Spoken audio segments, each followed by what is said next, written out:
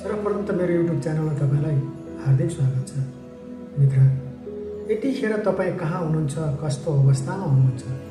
जे जस्तो अवस्थामा रहे तापनि तपाईँ हाँसिरहनुहोला खुसी रहनुहोला भन्ने शुभकामना दिन चाहन्छु। त्यसै गरी आज कोही मित्रको जन्मदिन परेको होला उहाँलाई जन्मदिनको लाखौँ लाख शुभकामना दिन चाहन्छु। त्यसै गरी कोही मित्र यात्राको क्रममा हुनुहुन्छ होला उहाँलाई शुभ यात्रा भन्न चाहन्छु। यदि च्यानलमा नयाँ हुनुहुन्छ भने च्यानललाई सब्सक्राइब गरिदिनु अनि भिडियोलाई एक लाइक गरिदिनु होला। तपाईँको एक लाइक र एक कमेन्ट मेरो लागि मार्गदर्शन हुनेछ। यति भन्दै म आफ्नो भिडियोलाई सुरुवात गर्न गइरहेको छु। तपाईँ भने हेर्दै गर्नुहोला।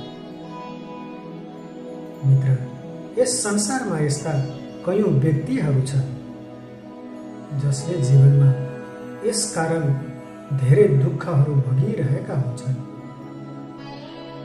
किनभने तिनीहरूलाई जीवनको यथार्थ नै थाहा छैन।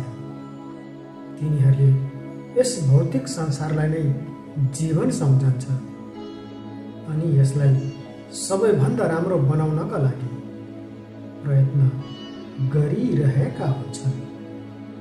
जबकि सत्य त यो हो कि जीवन हामीलाई भगवान्ले दिएका हुन् तब हामीले यो बुझ्नुपर्छ कि हामीलाई जीवन के कारणले दिएका हुन् हामीलाई मनुष्य किन बनाए?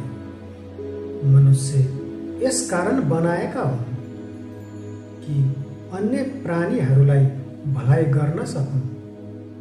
किनभने हामी यस्तो गर्नमा सक्षम छौँ।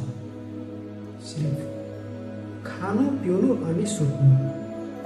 यो त सब प्राणीहरूले गरेका नै हुन्छन्। आजको भिडियोमा यति नै। अर्को भिडियोमा तपाईँ र मेरो भेट पक्कै हुनेछ। तपाईँको बाँकी पल शुभ रहोस्। हस्त नमस्कार।